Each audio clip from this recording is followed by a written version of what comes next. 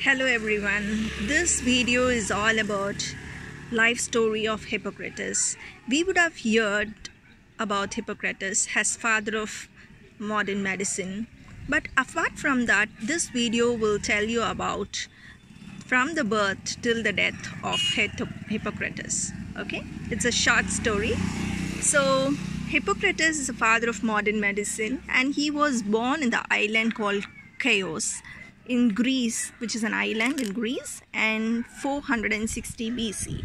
He was educated from his father and grandfather, and he went to study under various people who are dietitian, sophist, and philosopher. And also, he went to many areas all over the world uh, to study more. Not only his study was limited to the nature and climate, but later he extended to learn about people and traditions also.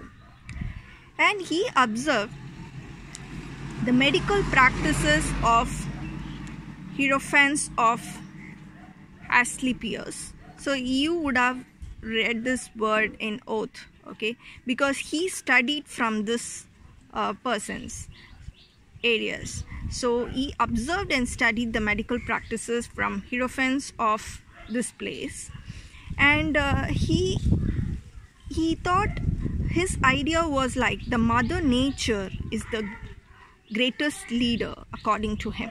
Okay? The nature is the greatest leader according to him. And he then tied uh, not only medicine but he included the philosophical thoughts into it okay the medicine he insight of philosophy is also included in the medicine according to him. So according to him the doctor should be respectful in the divine of divine philanthropist modest unconcerned about the wealth.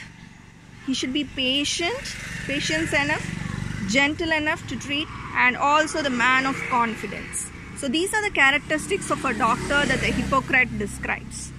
And also due to his treatments and uh, with the nature and uh, also philosophical in thoughts, the medical practices, whatever he has learned from his ancestors and also under various people all over the world, his fame went like a wildfire and cured many in many places. Okay and at last he was died due to his old age in the place called Thessaly and he was buried in between Tirnavos and Larissa. This is also the place name. In between these two places, they buried them there.